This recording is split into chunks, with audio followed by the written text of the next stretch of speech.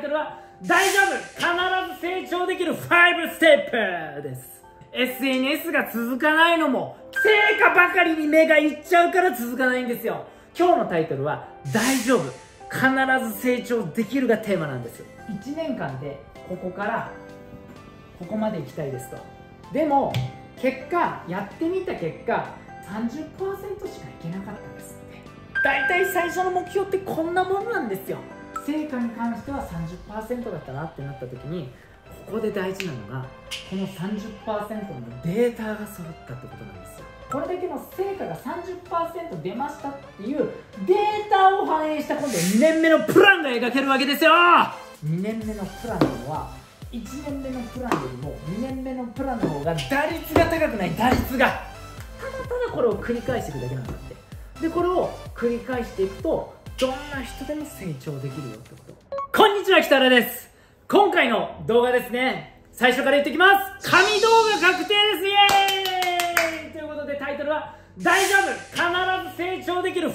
ステップです。えー、ここ最近ですね北原神動画製造機と呼ばれております。神動画が次々と排出されていっていて毎回神動画神動画言って神じゃない動画ってあるんですかぐらいになってきているぐらい神動画を製造してるんですけど今回の動画はマジで神動画なので必ず最後までご視聴いただきたいなって思います。今回ですね、えー、なぜこのね、えー、必ず成長できる5ステップをお話ししようかなって思ったのかっていうと最近ですねありがたいことに YouTube でたくさんコメントいただいてるんです。でコメントいただいてる方々にねもっともっとね成長の仕方成長の考え方成長を確固たる自信を持って勝つべくして勝つ自分になるために必要な考え方具体的な行動の行動の取り方ってことをねお伝えさせていただきたいなと思って今回の動画を撮ろうっていう決断をさせていただきました。初めましての方今日ねこの動画を見ることが北原初めましての方もいらっしゃると思います。初めましての方にもねなぜ北原がこの必ず成長できるっていうことを語れるのかっていうことで、えー、少し実績をお話しさせていただきますと僕自身ブログを書くっていうところからブログの広告収入で副収入100万円っていうところを実現することができたりだとかその後店舗ビジネスで美容室を開業して4年で100店舗5年と7ヶ月で全都道府県出店170店舗っていう美容室数を出店することができたりだとかその後ですね北原さんのもとでビジネスを教えてくださいっていう方がたくさん集まってくださったので北原がじゃあビジネス全部語りますね全部教えますねっていうことでスクール授業っていうのを立ち上げた結果そのメンバーさんがなんと2000人を超え出したりだとかその、えー、事業領域だけではなくてですね、えーと、各種 SNS や YouTube も、えー、今のところは右肩上がりで必ず成長することができています。具体的に言うと X だったらフォロワー数が9万人 Instagram だったら8万人 TikTok だったら8万人 YouTube だったらチャンネル登録数15万人っていうところまでちゃんと右肩上がりで伸ばすことができています。だから大丈夫。あなたも必ず成長できる5ステップを僕の口でお話しさせていただく意味があるんじゃないのかなと思って今回の動画気合を入れてお話しさせていただきます。今日の動画を最後まで聞いていただけるとこの5ステップっていうのが具体的にどんな手順でどんな流れでどんな風に実行していくと自分自身の行動ができるようになっていくのかそして右肩上がりで成長できるサイクルになっていくのかってことが分かっていただきますし動画をご視聴していただいて何回も何回ももう作業音声のように聞いていただけると行動がしたくてしたくてたまらなくなる自分っていうのが作れるようになっていくと思いますので今回の動画何回も何回も聞いていただいて頭の中に植え込んでいただいて自分を行動マシンに変えていただけると必ず成長できるようになっていきますので何回も繰り返し見てください。ということで早速入らさせていただきたいと思います。まずはステップ 1! あなたの目標をしっかり決めて掲げなさいがステップ1です。つまり目標です。あなたにとっての目標っていうのは何なのか。でこのステップ1をしっかり目標を掲げてもらいたいです。分かりやすく。誰が見ても分かる目標にしてください。例えば世の中から戦争をなくしたい。かあの日本の貧困の差をなくしたいとか男女差別をなくす世界にしたいんだっていうのは確かに素敵なビジョンではあるんですけど誰が見ても分かる状態っていうのはそういうものじゃないです。誰が分かる見ても分かるような状態っていうのは数字で示してもらいたいんです。数字で。例えば売上100万円とか YouTube のチャンネル登録数が10万人とか誰が見ても分かる目標を掲げていただきたいっていうのがまずステップ1です。これがね意外とできてない人がいらっしゃるんですよ。あなたにとって目標とは何なんですか？いやビジョンはこういうビジョンなんです。だから僕が聞いてるのは目標ですって。いうことを聞いてますいつも。ねこの目標って何ですかってなった時にこの目標が数字で示されるとこの後に必要な具体的な戦略っていうものが出てきます。なのでまずここで出していただきたいのが目標に対して数字を入れたものをしっかり提示することです。これもうこれ決めるだけです。なかなか出せないです。なかなか目標決められないです。だってそれができるかどうかわからないからですっていう風になっちゃうわけですよ。でもこの時に大事なのがとりあえず出そうっていうことです。必ず出してください。数字を入れた目標。5ステップ1ステップ目。数字を入れた目標っていうのがいいからまずは出してみてくださいっていうのが1ステップ目です。じゃあこれで次2ステップ。1ステップを踏まえた上で次の2ステップ目いきますね。2ステップ目。これ5ステップだからね。あ1ステップそんなもんでいいのって思うじゃん。簡単でサクサクいきましょう。そんな難しくない。成長を作るってのはそんな難しくない。誰だって成長できる。じゃあ次いくよ。ステップ2その目標に対しての期日を決めなさい。例えばねステップ1でね売上100万円ってことを言ったとします。じゃあその売上100万円ってのは何ヶ月後なんですか？何年後なんですか？っていう話です。この期日をしっかり明記していただきたいわけですよ。いやそもそもやってないので分かりません。じゃないんですよ。目標っていうのは数字と期日が入って初めて終えるものになるんですよ。これがね例えば期日が3ヶ月後なのか6ヶ月後なのか1年後なのか10年後なのかによっては全然違うと思わない。っていうか10年後って言った瞬間いつかなりたいです。いつかっていうような言葉使った瞬間明日からやるかね。やらないと思うんですよね。つまりここの部分で必要なのは目標を決めたら次終える日を決める期日を決める。でこの期日を決めるときにステップ2はちょっとだけポイントがあります。ステップ2のポイントというのは1年後ぐらいを目標にしてください。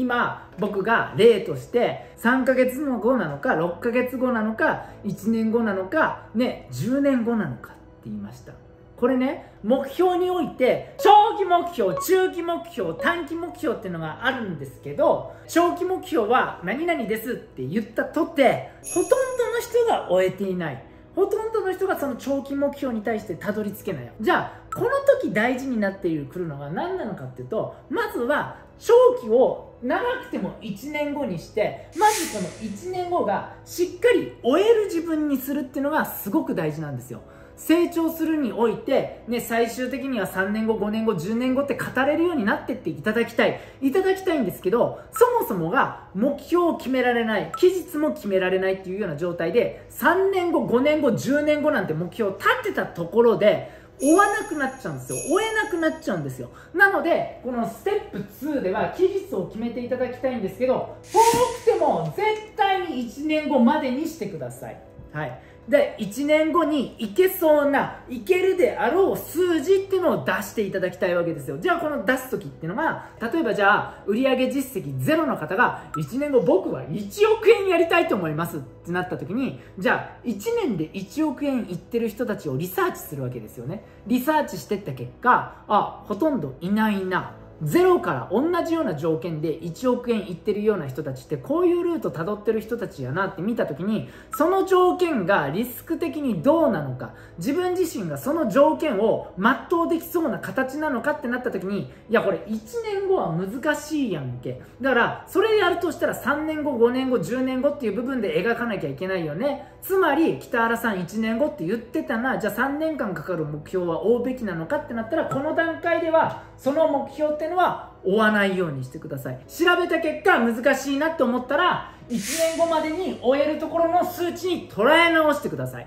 例えばね、1年間で1億やる人ってね、もちろんいらっしゃいますよ。完全にゼロから1億やる人っても世の中にはいますよ。ね、YouTube チャンネルだってそうです。立ち上げて1年間で100万登録いっちゃう人。多くはないですけど、世の中にはいます。じゃあそれができんのかってなったら、条件としては難しいよねってなってくるわけですよ。なので、難しいよねってなっていった時に、その条件が自分自身が全うできないと思ったら、全うできるような時間軸の目標に切り替えてください。なので、まず目標を決めること、期日を決めること、その期日に関してはあくまでも1年後にしてください。僕自身、例えばね、ここで言っています YouTube だったらね、僕自身今 YouTube3 年目入ってます。じゃあ1年目の目標って何だったのかっていうと、チャンネル登録1年間で5万人。っていうところを一緒に担当してくださっている YouTube チームの方々と、まあ担当者で言うとコロスケくんなんですけど、コロスケくんと一緒に追っかけることができて、1年目の目標5万人ということは達成することができました。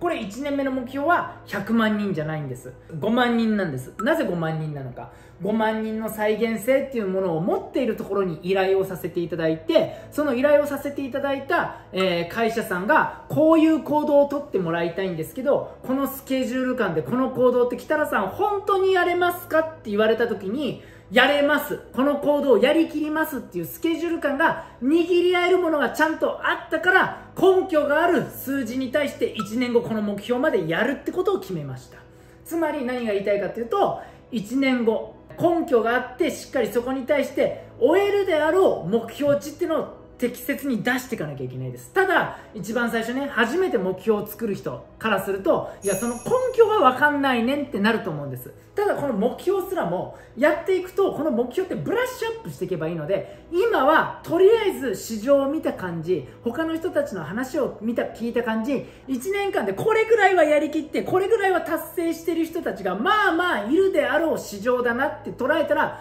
まずはざっくりとした、そこの旗立て、ピン立て、1年年後の売上立て、チャンネル登録数立てだったりだとか、あなたの目標立てでそれでいいので、それをまずざっくりとでいいので、1年後の売上、1年後の目標であり、期日であれっていうことをしっかり旗を立ててください。これがステップ1、2でやっていただきたいことです。そして次、ステップ3入りますじゃあ次、ステップ3いきますよ。ステップ3。はい。1年後、そこに行くために行動内容決めましょうっていうのがステップ3ですこの行動内容を決めるときにですね注意点が一つあります。注意点。この注意点っていうのはとりあえず3ヶ月間で実行する行動を決めてください。例えばね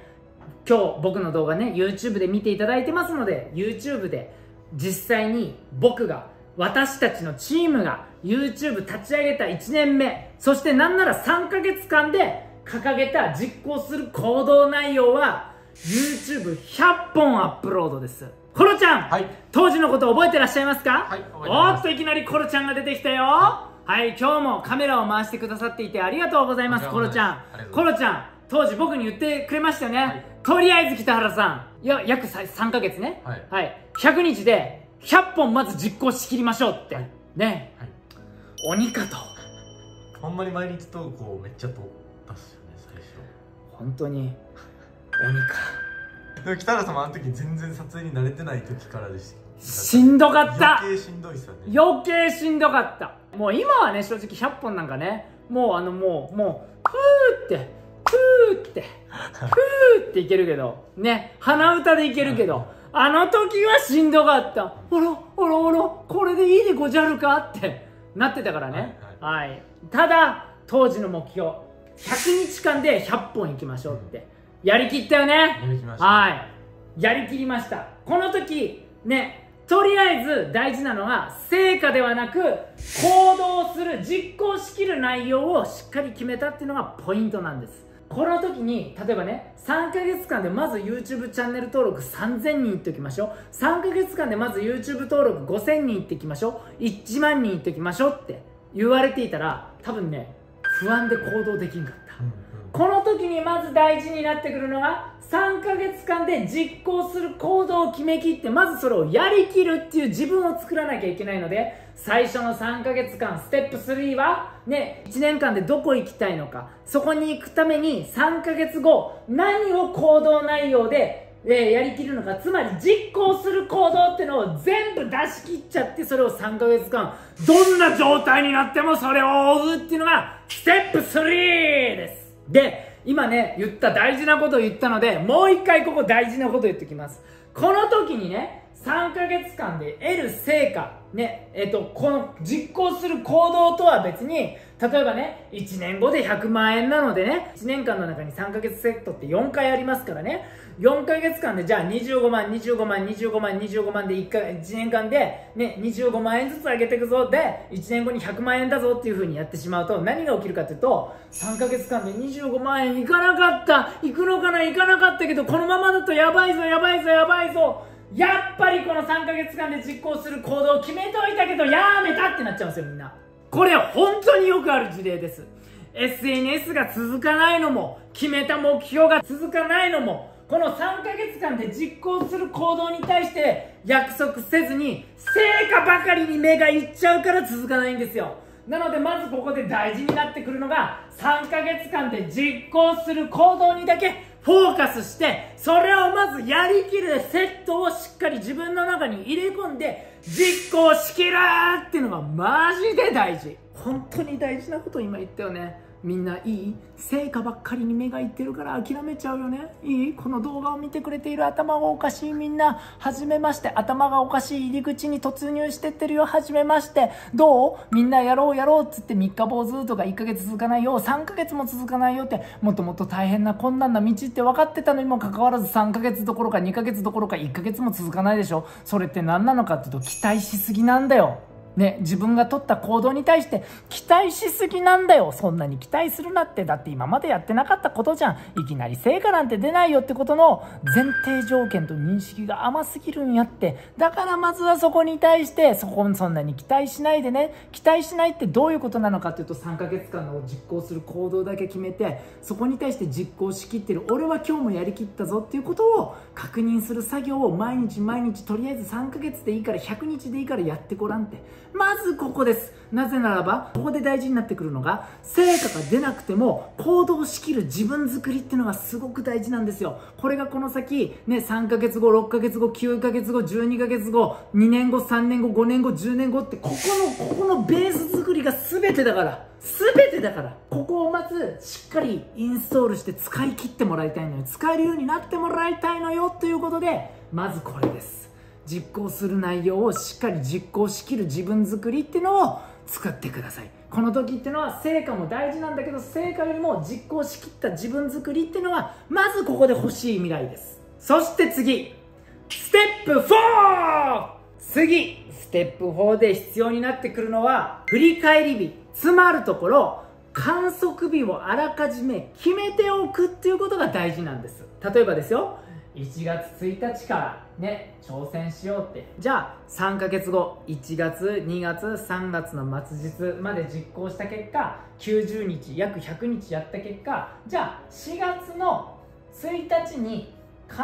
ずもう一度振り返ろうって決めるわけですよ。これね大事なのが気分で振り返るのではなくもうこれスケジュールに書き込んでおいてもう絶対に振り返るんです。何があってもうまくいっていてもうまくいってなくても必ず振り返るんです。これなぜ必要なのかというとここに対して目標ここ目標を決めました。目標はここまでの行動をやりきることですと決めます。でこれがここがここまで自分自身が運んでいく3ヶ月後のことになります。そしたらこの段階で自分はまず行動この決めた行動は100%やりきっているのか。それとも70%やりきっているのか、はい、それとも30%やりきっているのか。例えばですよ。YouTube で例題に挙げさせていただいていますが YouTube でね100日後、まあ3ヶ月後なんで厳密に言うと90日後ですね。90日後、100%って言ったら動画本数は90本です。70%だったら70本です。30%だったら30本です。まずですね、自分自身の決めた行動に対しての実行力っていうのは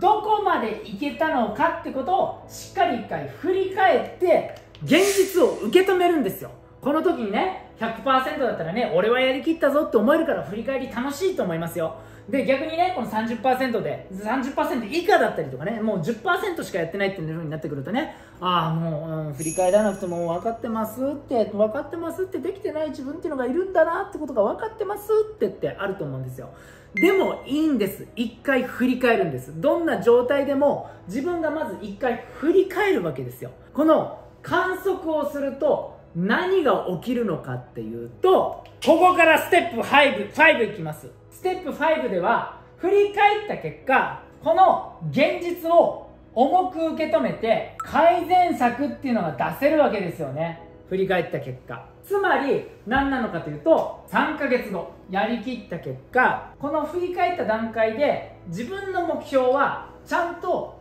上振れたのか。目標値通りに行けたのか。目標値通りに行くと自分は目的地ここが目的地だとするとですよ。目的地通りに行けたのかどうなのか。それでも目的地に対して行くことができなかったのかってことを決めるだけなんですよ。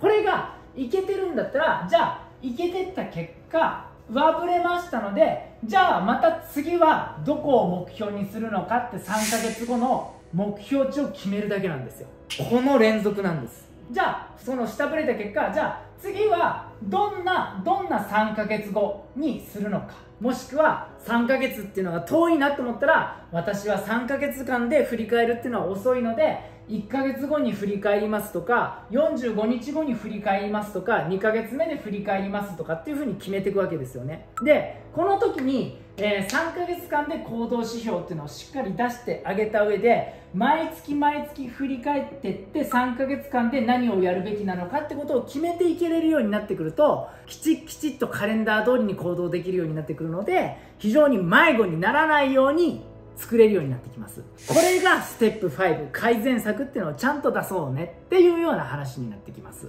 これまでがステップ12345までの大まかな考え方です。でこの改善策っていうのがすごくポイントになってくるんです。このね改善策になった途端急にちょっと分かりにくくなったよね。なのでこのステップ5を徹底解剖させていただきたいと思います。はいステップ5をねこのねステップ5で改善していこうねっていう風になった時にね、まあ、ここからじゃあ4ヶ月目から突入していくわけですよね。この先4ヶ月間からまた何やるのっていう部分でもしこれが自分自身がうまく実行することがもしできなかったら今度ね3ヶ月目標じゃなくてねもっとね刻むんですよ。5ヶ月6ヶ月7ヶ月ってもっと刻んでください。もっと細かく刻んでください。でこの刻んでいただきたい時っていうのがどういう時なのかっていうと目標に対して自分自身が実行できなかった時実行できなかった時っていうのはまずこの観測日っていうのをもっともっと短く細かく刻んでってあげるっていうことがポイントの一つです。例えばこれ刻もうと思ってったら1ヶ月単位じゃなくて10日単位で刻むこともできるし1週間の7日単位で刻むこともできるし日報単位で削ることまでできるわけですよ。どこまで削るべきなのか。例えばね毎日の YouTube と YouTube のアップロードをあの刻むってなったら1日単位で刻むってたら1日1本になるわけですよね。あ1ヶ月で刻むってなったら月間で30本上がってればいいわけですよね。何ヶ月間で見ればいいのかってなった時にまず3ヶ月で上げといて3ヶ月間の行動っていうのが取りきれんかったら1ヶ月サイクルに刻み直してあげる。1ヶ月サイクルに対して刻み直してあげると何が起きるかっていうと3ヶ月で終えなかった目標でも1ヶ月にしたら終えないっていう話一番最初ね、ステップで目標を決めてね、ステップ2で期日を決めてねってなった時に、僕が長期ビジョンはダメだよ、長くても1年後だよっていう話をしました。で、その1年後のために3ヶ月にもっと短く凝縮して3ヶ月間で何やるべきなのかってことを決めてねってことを話しました。ただ、じゃあ、この3ヶ月も終えないっていう風になった時に次に追わなきゃいけないことっていうのは、まずこの刻む刻む観測期間を今度1ヶ月目標にしてあげるっていうことをもっと短くしてあげるわけですよ。1ヶ月で何を追うべきなのかってことをもっと刻んであげるわけですよ。だからこの段階で3ヶ月っていうのを終えなかったら1ヶ月って刻んであげて1ヶ月目標にしてあげて目標が3ヶ月で90本だったのをね1ヶ月で30本って上げ直してあげる目標にするわけです。これ何を作りたいのかどういう状態を作りたいのかっていうと掲げた目標に対して自分自身が到達できる習慣性を作るってことがすごく大事なんです。でこの北原さん私1ヶ月間の約束も守れないんですっていう風になったらもうね次10日で刻めばいいんですよ。10日で。で10日サイクルもダメなんですって言ったら今度7日サイクルで刻みましょう。で7日サイクルでもダメなんですって言ったらもう1日サイクルで刻みましょうってことなんです。そうすると今日やるべきことは何なのかってことに対して一点集中できるようになってくるわけですよね。でその1日単位で見ていった時にその1日単位でも実行できてませんっていう風になってきたら今度じゃあ1ヶ月で30本っていうのが現実的なのかっていう部分から今度見直していくわけですよ。例えばですねこれをやりきった上で30本という目標が現実的なのかっていうことを見ていくと今度何が起きるかというと全体で描いている目標を下方修正するっていう動きになってくるわけですよ。でこのね目標を下方修正するってどういうことなのかっていうと最初の目標ここまで行きたいに対しての期日を下方修正してあげてかつ追いやすい目標にするっていう目標修正であり行動修正なわけですよ。これをやっていくといやいや北原さんそれって目標を落とすことですよね。結果として達成できないことになりませんかっていう話になってくると思うんですけど大丈夫。これを繰り返すことによって結果として1年で達成できなかったことも2年あれば達成できるよね。3年あれば達成できるよね。大事なのは期日に対して目標を合わせてしっかり期日通りに達成することが一番大事なんですけど一回人生振り返ってみてください。期日も含めて思い描く通りにいったことって一回でもありましたかと。僕自身は今頃本当に描いている形だったら3年目の今 YouTube のチャンネル登録は30万人です。15万人。50%です。学士。目標に対していけてない。でもねこの時に大事になってくるのがねじゃあその30万人いけるようになるのはいつなのかっていう話なんです。コロちゃん。はい。北原さんの YouTube チャンネル登録、はい。現実的に目標値で30万人登録いくのはあと何年間あればこのままだったらいけそうですか？1年から2年あればはい。じゃあざっくり2年で見ていきましょうか、はい。でこれが2年のプランと1年のプランってちょっと違うよね、はい。あとはこれをまた話し合って、はい。2年後1年後。まあじゃあ1年後で終えるところまでここまで行こうって決めてそこに対して実行していくだけだよね、はい。っていうふうになってった時にいいですか？皆さん。今日のタイトルは「大丈夫必ず成長できる」がテーマなんです。1年間でここから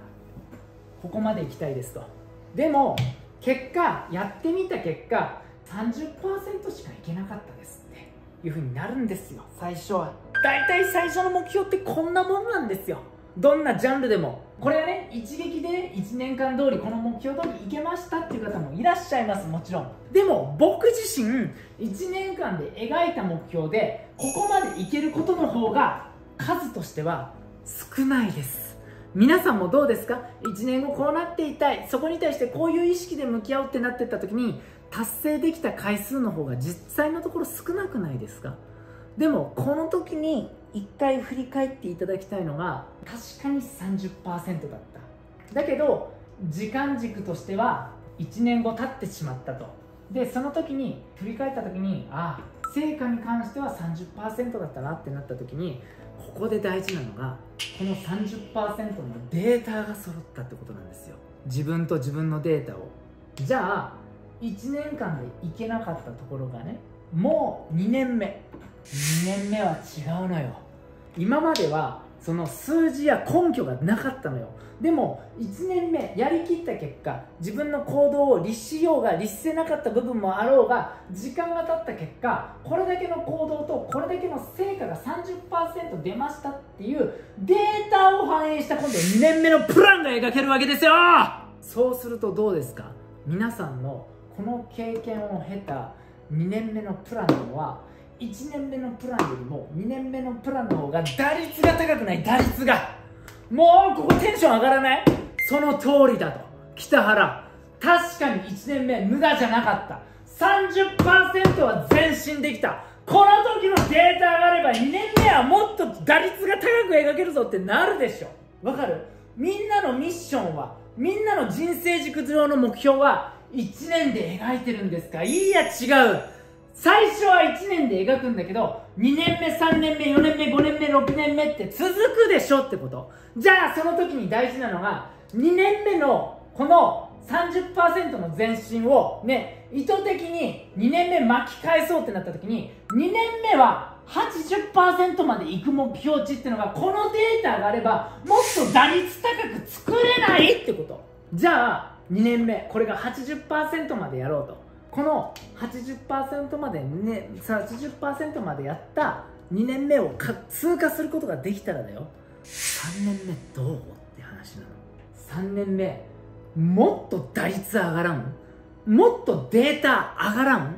もっと根拠が揃わんって話。今まではリサーチ1年目リサーチした結果自分がやっていない他社さんとか他人様の情報を聞いた上で頭の中で想像しかしてなかったけど1年間やった結果自分の経験値のもと2年目のプランが描けました。で2年目の結果その経験値のもと上げていったプランでこれを達成することができました。達成した結果3年目もっともっと打率が高いような目標が描けるようになったっていう風になっていくと何が起きるかっていうと1年目2年目3年目4年目5年目ってどんどんどんどん打率が高くなっていきませんか？ってことなんですよ。これを自分の中に落とし込んでいただきたい。例えば1年間でね決められた回数やった結果30%しかいかなかった。だけど30%までいったっていうデータさえ揃ってしまえばシンプルにそれ3セットやったらね 90%80% は硬いやろっていうデータが出てくるわけですよ。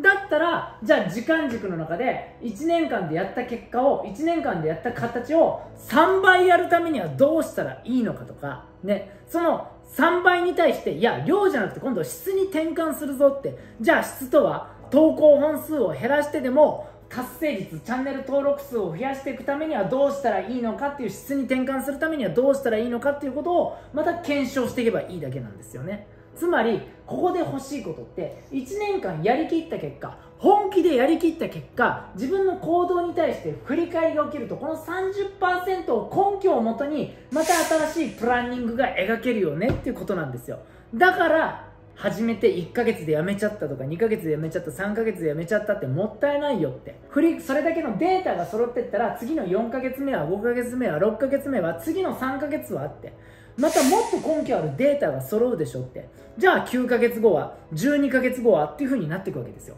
これ繰り返すだけだからやってみてほしい1回。難しいこと言ってないと思うんだよね。うん。っていうかすごくシンプルに成長するためのサイクルってことをお話ししています。ここで大事なのは一回行動を起こしてみるってことがすごく大事になってきます。はい。僕もね一番最初にね、まあ、今日ちょっと YouTube っていう話で話しちゃったんであれなんですけど YouTube だったらね実はこの YouTube チャンネルね3チャンネル目なの。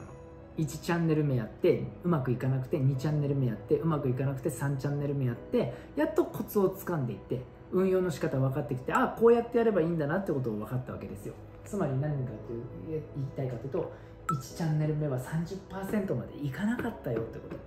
2チャンネル目でようやくちょっと見えてきて3チャンネル目でやっと目標に対しての80%ぐらいは50%ぐらいは達成できるようになったよっていう。シンプルにそれだけなのよ。だって今頃ね描いてる形ではそろそろ30万人登録なのよ。でもいい。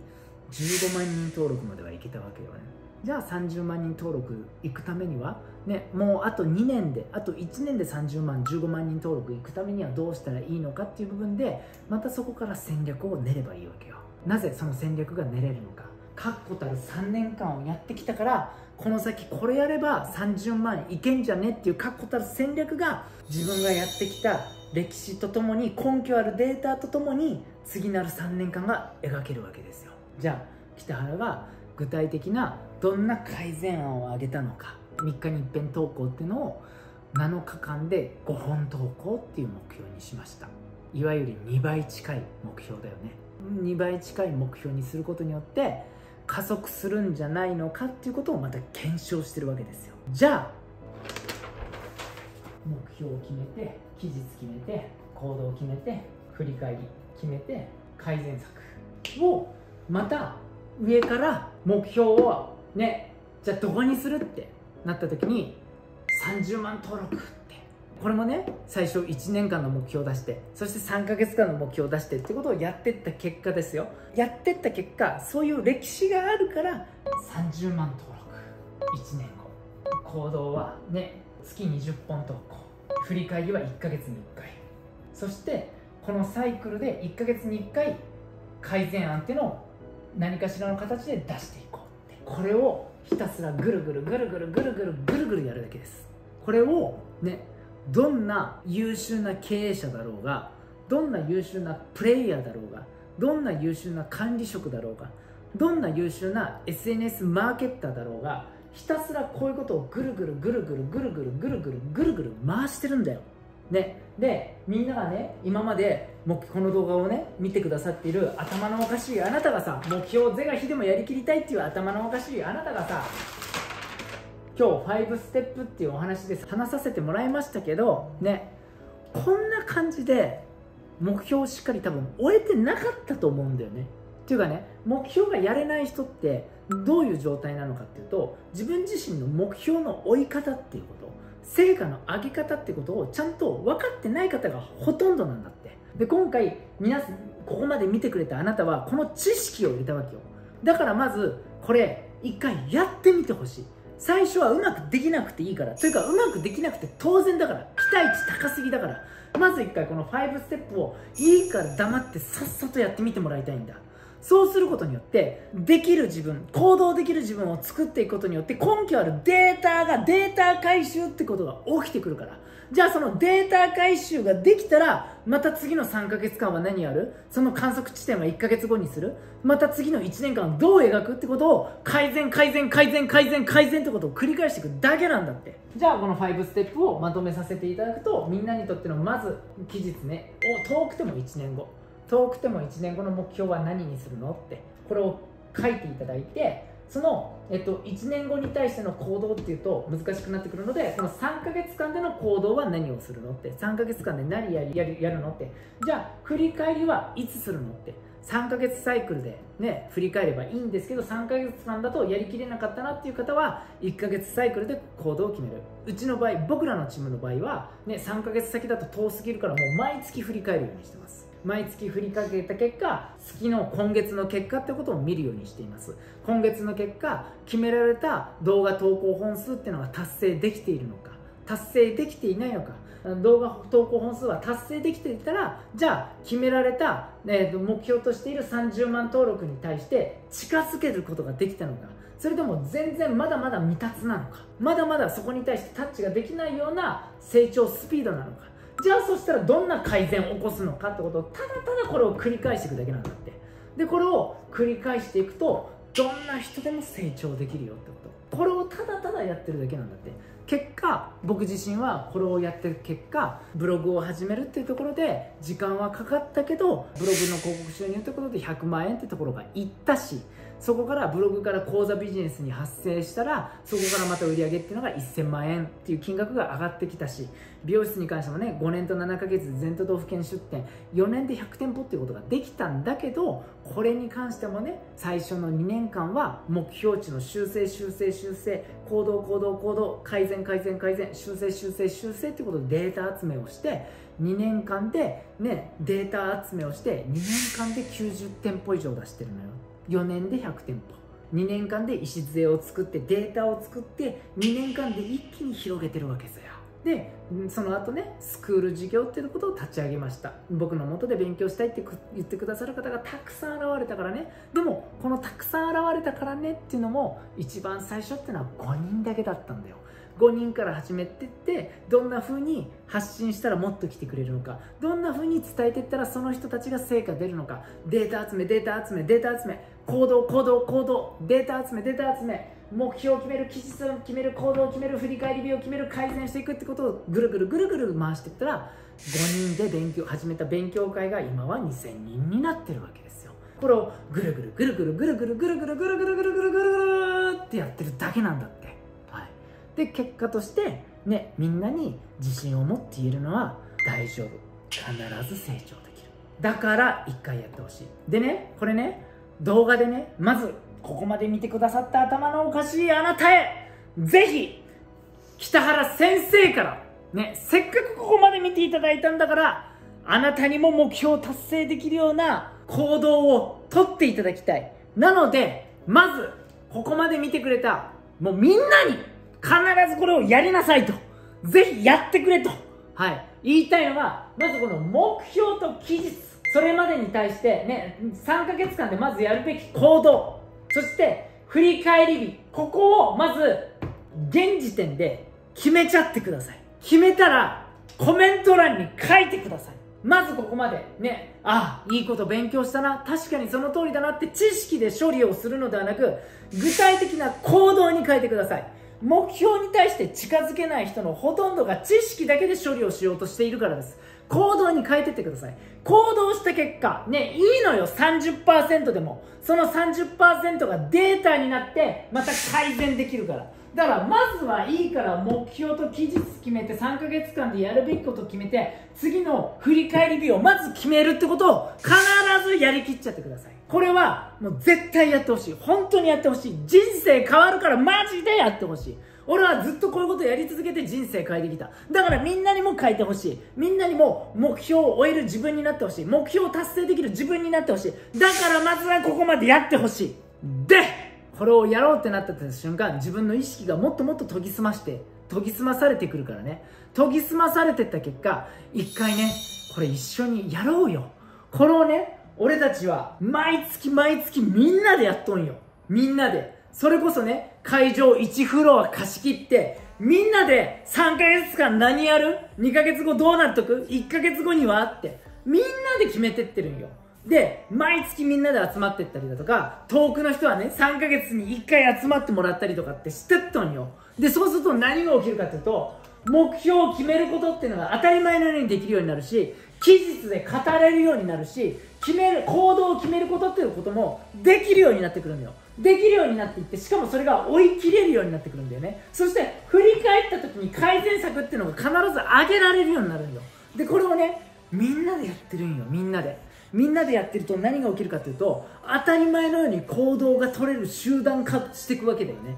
行動が取れるような集団化のもとに自分が行くと当然当たり前のように自分自身も活性化されて行動をとってって当たり前のような自分になっとくんよこれがね参加すれば参加すればリアルに会えば会えば会うほどこれが強く強く強く強く強くできるようになるからさ一回会いに来てほしいんだよね。こういうことをね僕はずっとやってます。どれぐらいやってるのか。もうやり続けて10年以上経ってます。ずっとやってきます。だからね今日の動画を見ていただいて北原さんって本当にパワフルだなって初めて見てくださった人。なんだこの熱血親父はって思うかもしれない。でリピーターさんね繰り返し僕の動画見てくださった方。ね北原さんってのなんでそんなにパワーがあるんだろう。パワフルなんやろうって。当たり前じゃん。10年以上やってんだもん。目標に対して期日を決めて行動して振り返って改善していくってこと。10年以上やってんだもん。成果が出て当然だしパワフルになってって当然だし自分が律せれるようになってって当然なんだって。これもトレーニングだから。だからこれを一緒にトレーニングしていこう。教えられるから伝えられるから。でこれがね自分でまずお家でやってもらいたい。だけどお家でやっていくとよくわからなくなってった結果よくわからないなやめたってなっちゃう人がほとんどだから一回会いに来てほしい。で会いたいなって思っていただいたら概要欄の方に北原隆彦公式 LINE ご案内させてもらってるからよかったらお友達追加してみてよ。ご案内届くからさ会いに来ませんかって一緒に勉強しないって一緒に目標追ってみないって一緒にやろうなやろうよ。行動力集団が待ってるからさいつでも会いに来てください。ということで今回の動画のテーマは必ず絶対成長できる5ステップってことでお届けさせていただきました。ありがとう。ありがとう。